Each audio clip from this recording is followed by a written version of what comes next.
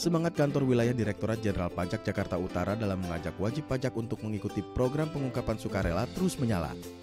Sebelum masa sosialisasi PPS kepada wajib pajak periode bulan Januari 2022 hingga 30 Juni 2022 berakhir, sebagaimana diatur Undang-Undang Harmonisasi Peraturan Perpajakan HPP.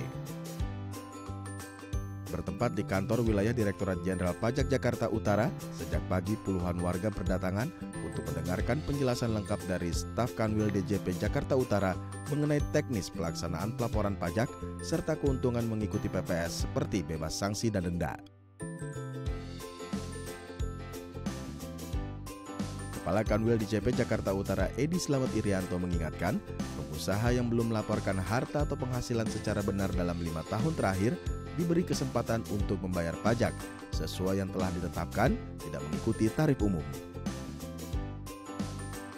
Uh, kalau dilihat dari jumlah presentasi yang masuk itu saya kira cukup baik karena uh, jumlah wajib pajak dibandingkan yang ikut dibandingkan dengan secara nasional itu hampir sekitar 7,9 persen lah gitu ya.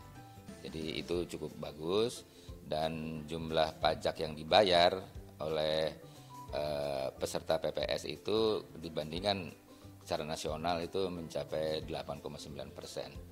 Jadi ini uh, sesuatu yang menggembirakan dan cukup bagus. Berarti masyarakat di Jakarta Utara sangat antusias untuk merespon terhadap program PPS.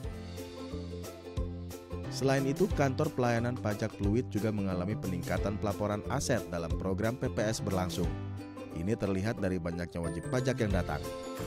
Melalui program ini, wajib pajak bisa mendapatkan keuntungan seperti bebas dari sanksi dan denda. Denda administrasi sebesar 200% dijatuhkan ketika Ditjen Pajak menemukan harta yang tidak atau belum dilaporkan dalam surat pemberitahuan pengungkapan harta hingga batas waktu terakhir PPS.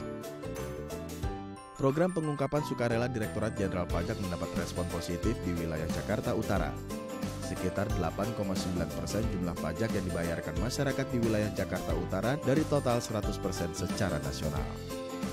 Akbar Ramadan, Budi Wirutomo, The.